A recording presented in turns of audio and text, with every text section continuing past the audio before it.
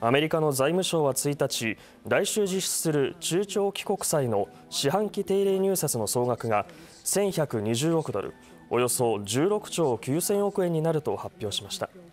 2021年11月以来2年ぶりの規模となります。ただ前回8月の入札と比べると長期国債の発行額の伸びは鈍化しました。財務省は報告書でアメリカ国債の需要が海外の中央銀行などで減少している可能性を指摘しています。